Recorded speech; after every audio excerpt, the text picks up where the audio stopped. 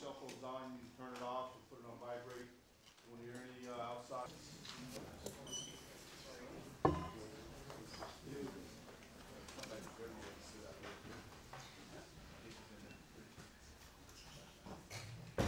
Um, the defendant is sentenced to uh, the term uh, required by law, 15 years to life, on his conviction for uh, second-degree murder for the enhancement uh, pursuant to uh, 120.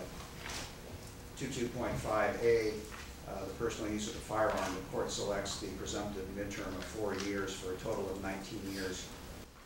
In an abundance of caution, based on all the erroneous rulings that the court made during the trial, we hereby move for a new trial. That No, concludes Your the Honor. proceedings. Thank you very much. Thank you, Your Honor. You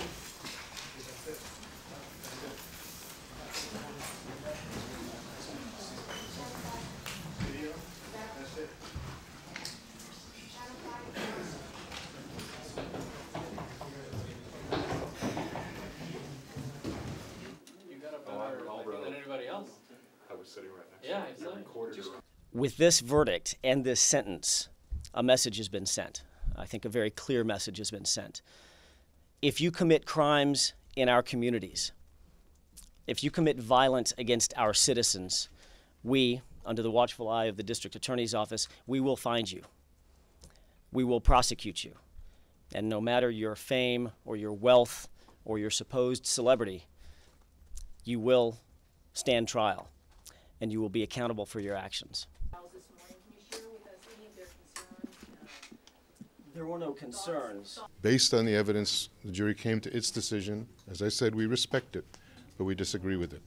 And we intend vigorously to uh, pursue an appeal and uh, any other legal remedy that we're in- able to and are entitled to, we will pursue because we do believe that this was not the right result.